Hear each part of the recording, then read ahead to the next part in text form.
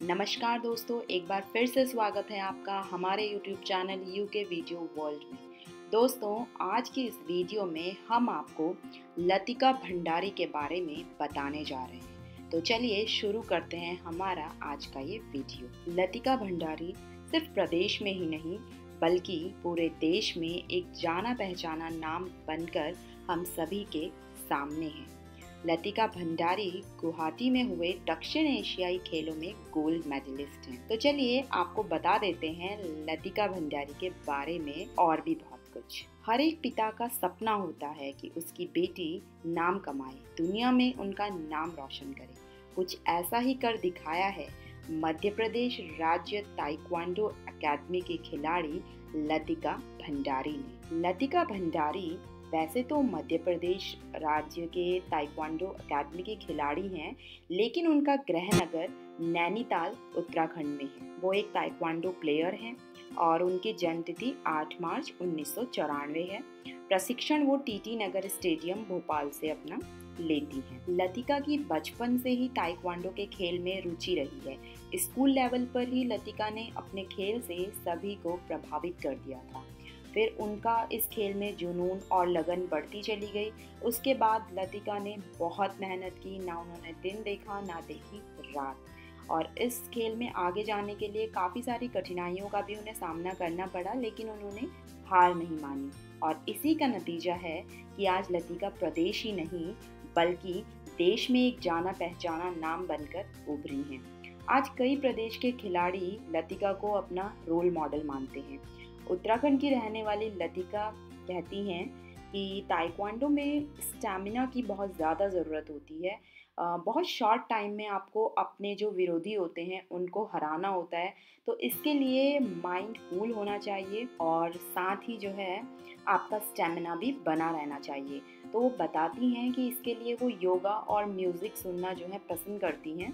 ताकि मैच से पहले जो है उनका माइंड भी कूल रहे और साथ ही उनका स्टैमिना भी बना रहे। इसके अलावा लतिका बताती हैं कि ये एक ऐसा खेल है जिसके लिए उन्हें अपनी डाइट पे भी काफ़ी ज़्यादा ध्यान देना होता है।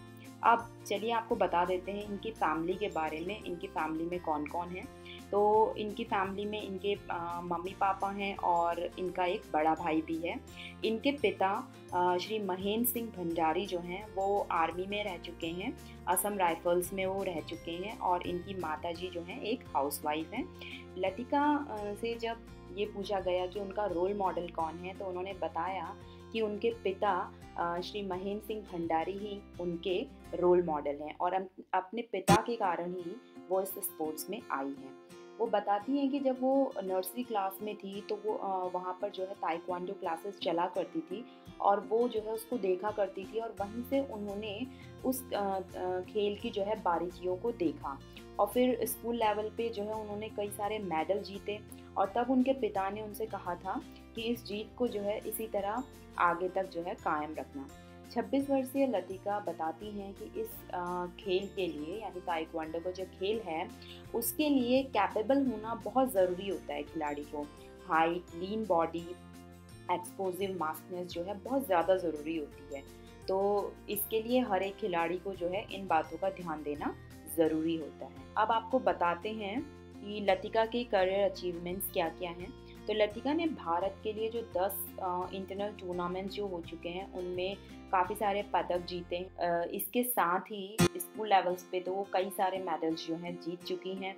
और लतिका की इस अचीवमेंट के लिए जो एमपी गवर्नमेंट है, यानी जो मध्य प्रदेश गवर्नमेंट है, उन, उन्होंने लतिका को प्रदेश का सर्वोच्च जो खेल पुरस्कार है, विक्रम अवार्डी उससे भी सम्मानित किया।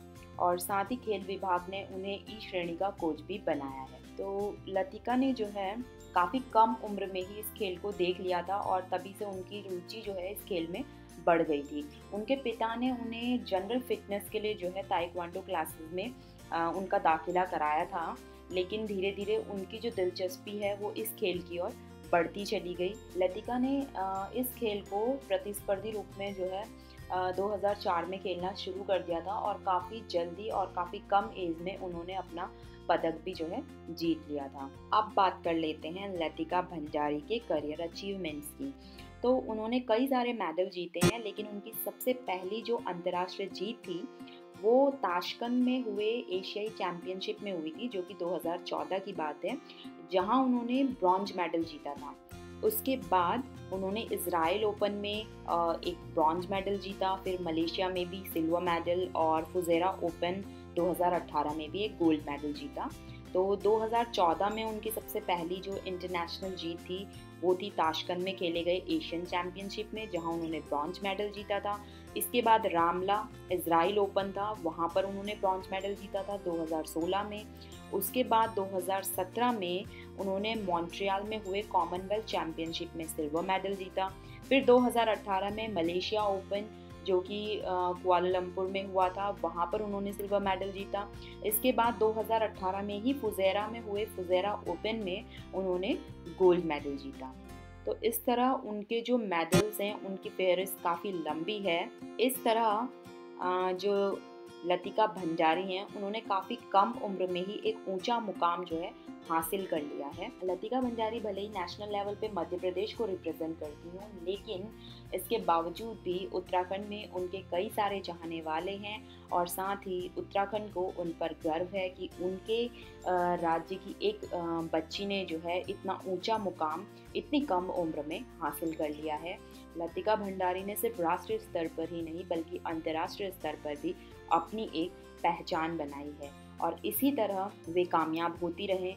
हम सिर्फ़ यही कामना करते हैं और उनको, उनकी सफलताओं के लिए, उनके अचीवमेंट्स के लिए बहुत बहुत बधाई देते हैं और साथ ही उनके आने वाले फ्यूचर के लिए उन्हें खूब सारी बेस्ट विशेष देते हैं। तो दोस्तों, ये थी लतिका भंडारी के बारे में कुछ जानकारी। अगर आप और भी कुछ जानना चाहते हैं उनके बारे में तो हमें ज़रूर बताइएगा कमेंट सेक्शन में कमेंट करिएगा। इसके अलावा, इसी तरह नई नई वीडियोस को देखते रहने के लिए हमारे चैनल यूके वीडियो वॉल को ज़रूर सब्सक्राइब कर लीजिएगा। इस वीडियो को देखने के लिए बहुत बहुत धन्यवाद।